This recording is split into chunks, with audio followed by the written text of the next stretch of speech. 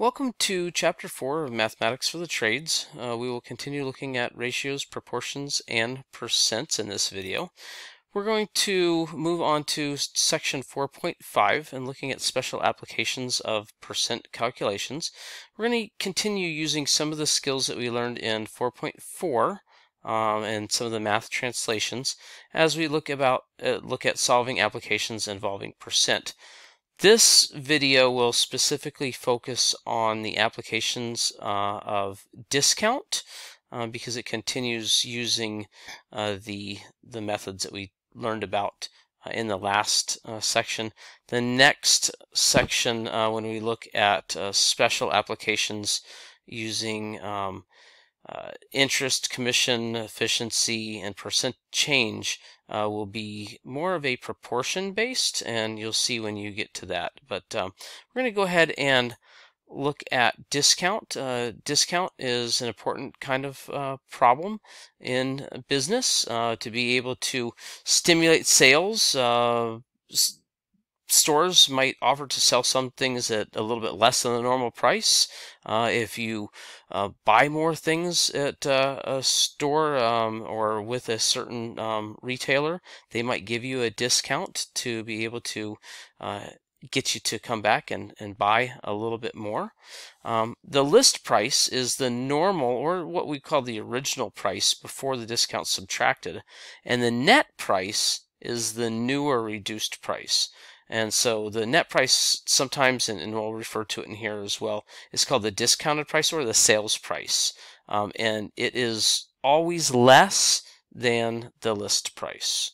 So we that, that's really important, especially as buyers, uh, that we uh, want to be able to get more for less. So let's go ahead and look at this. The list price of a tool is $18.50. And it's on a special sale and it's offered at 20% off. So what is the net price? Go ahead and pause the video. You might be able to do this one on your own just because of uh, being a, a, purchaser or maybe you're in sales. So go ahead and try this one on your own and then we'll try to work it out. Go back to, if you need to, um, remembering that um, of equals multiplication and is equals, uh, um, or is is equals. So, and you can see those in here, and so that might help you a little bit with this. Okay, we're back, and uh, this problem, um, like I said, it does include uh, some of the vocabulary that we used um, for is. It's a little bit different though, and it requires um, you to ha- to um, subtract uh, first to be able to find the discount and, and what the discount is. And so in this case, we want to make sure to understand that if something is 20% off, then what it really is, is it's 100%, it's 100% minus that 20%. And that's what the net price is. And so the net price is actually 80% of the original item. And so we're going to go ahead and find that 80% is our discount. After we've calculated our discount, then we can rephrase this by saying, what is 80% of $18.50? Because that's our list price. So if we would have said 20%, then that would have been incorrect because um, that's uh, that's a lot more of a discount than um, what uh, they would be selling it for uh, if it was 20% of the original price. So 80% of the original price means that it's still four fifths of the price. So we say what is 80% of $18.50? And by doing that, we can say x equals 0.8 times 1850 or times 1850. And in doing that, we will go ahead and get our calculator.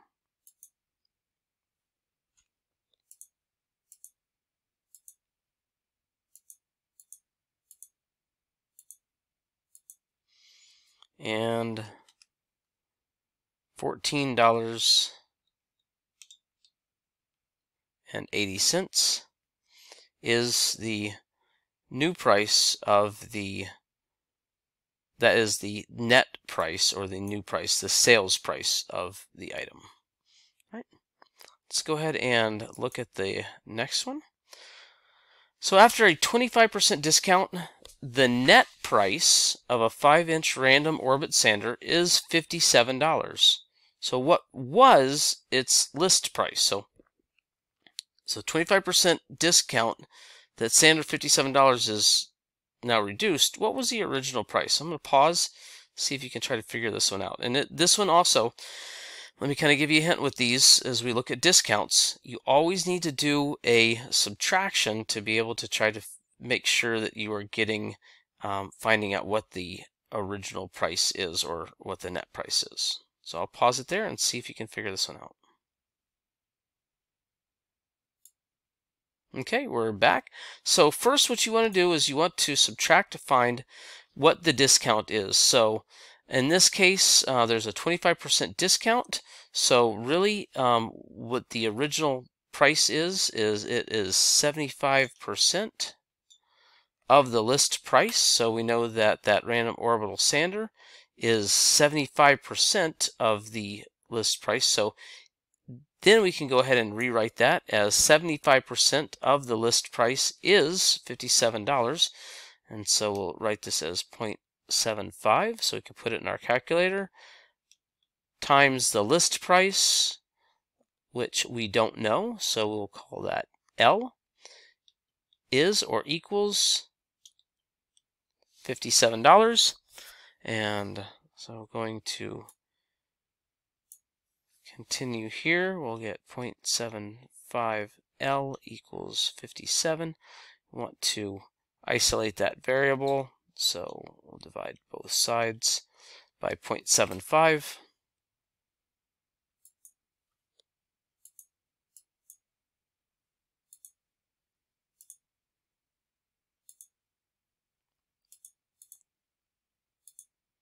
And we get 76 dollars. So the list price equals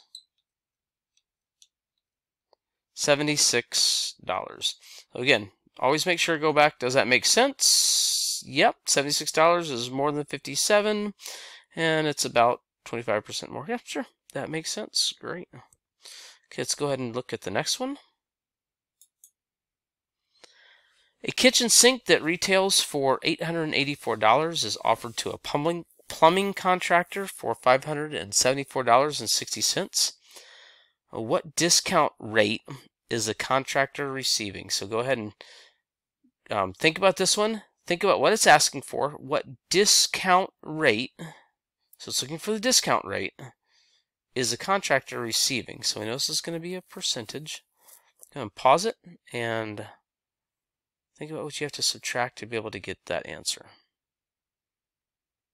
Okay, we're back and let's go ahead and look at this. So first you want to make sure to subtract to find what is the discount itself. So if it's originally $884 and he's getting it for 574.60, well, let's do the math on this.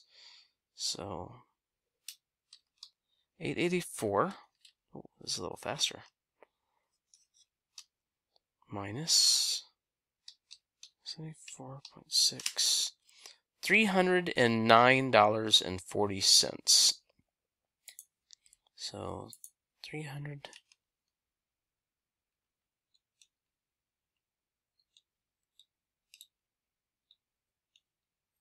Very nice discount, huh? So how can we rephrase this now to be able to get the answer of what we're looking for? So what's the discount rate is the contractor receiving? So what we can ask then is 309% is the percentage discount of the list price. So we can just make that statement. Um, and so by saying that, let's go ahead and figure that out. And we'll say 309 is the percent discount, and so we know that that's the discount of the list price. And the list price, remember, was the higher price. It's $884. And so let's go ahead then, and we will say 884, excuse me, 884D equals 309. A little more room here. Get 884. So I can get D by itself.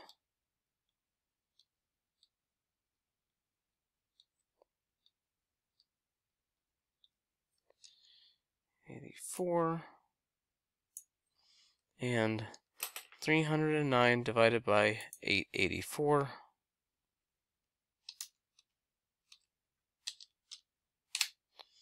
equals point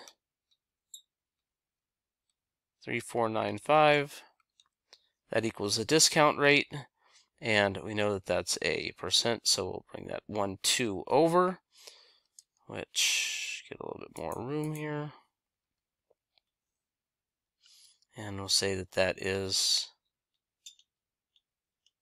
35% rounded up. And so the $309 is the percentage of the discount rate. And so the discount rate was 35%.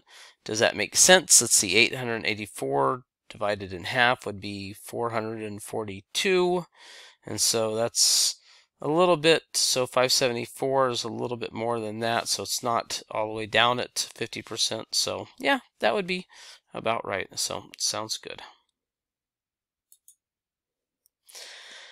So in some situations, uh, you can get multiple discounts. Uh, it's always nice to go to uh, uh, one of the stores, big box stores, Lowe's, Home Depot, something like that. Something's on the clearance rack, and then um, it's a bargain. Everything in that section is another percentage off, and then you get to the front desk and it's been damaged at checkout, and so you get another percentage off. So it's always nice to be able to get multiple discounts, and they're pretty easy to calculate. You just calculate them just one after the other.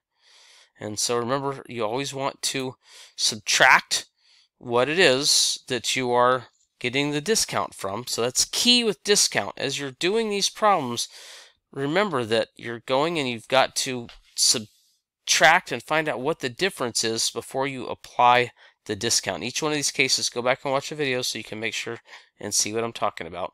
So in this case, um, there's a washing machine as a list price of $740 and the the buyer gets a trade discount of 30% and then another 10% on top of that, plus a cash discount of 3%.